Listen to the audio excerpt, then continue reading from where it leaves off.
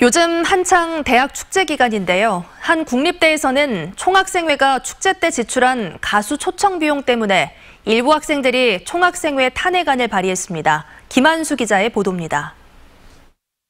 한 국립대 캠퍼스에 붙은 대자보. 대학 총학생회의 탄핵을 주장하고 있습니다. 사건의 시작은 지난 4월에 열린 대학 축제. 총학생회가 주최한 이 행사에 초청 가수 행사비가 지나치게 많이 들어갔다는 겁니다. MBC가 직접 총학생회가 공개한 초대 가수 초청비를 행사 섭외 업체 5곳과 비교해봤습니다.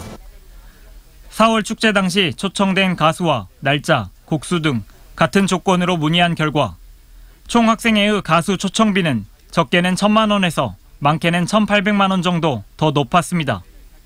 총학생회란 학생 자치 기구로서 학생들을 대표하고 대변하는 학생 자치 기구입니다.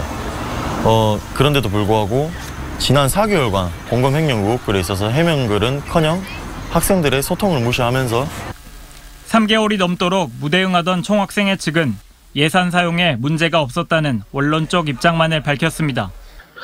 가수 같은 경우에는 공연의 곡수 그리고 공연 날짜 그리고 공연의 장소 등 여러 가지 사항으로 가격이 변동하기 때문에 저희가 계약한 가격이 결국 결코 과다 지출이 아니라고 말.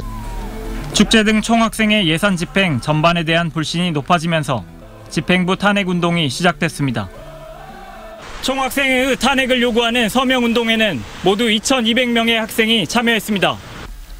탄핵 발의 정족수인 재학생 3분의 1이 참여했고 총학생 회장 등에 대한 탄핵이 공식 발의됐습니다. 학생회에 대한 탄핵은 빠르면 다음 달 초 학생 자치기구인 확대 운영위원회에서 결정될 예정입니다. MBC 뉴스 김한수입니다.